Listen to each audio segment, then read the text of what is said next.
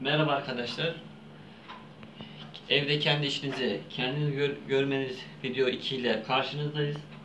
Daha önceden tekli anahtarı anlatmıştım.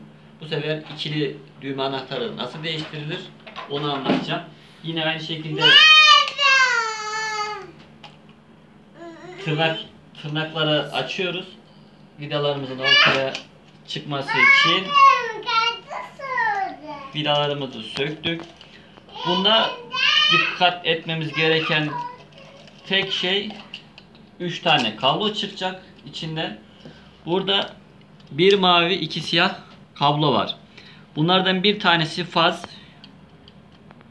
Bu da mavi olan kablomuz. Eğer deneyimli değilseniz sigortalarınızı kapatmanızı tavsiye ederim. Burada yapacağınız işlem yine aynı şekilde yaya basıp kabloları çıkarmak. Burada tehlike olan mavi yani faz kablomuz.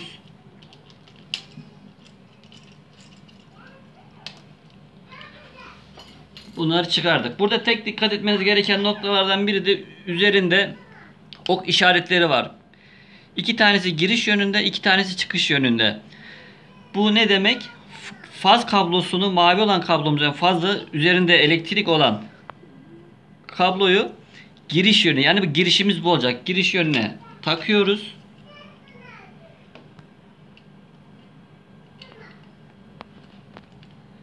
Kablomuzun iyice oturduğunu emin olalım.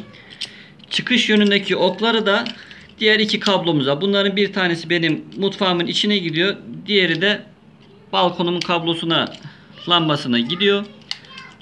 Bunları takma işlemini bitirdik.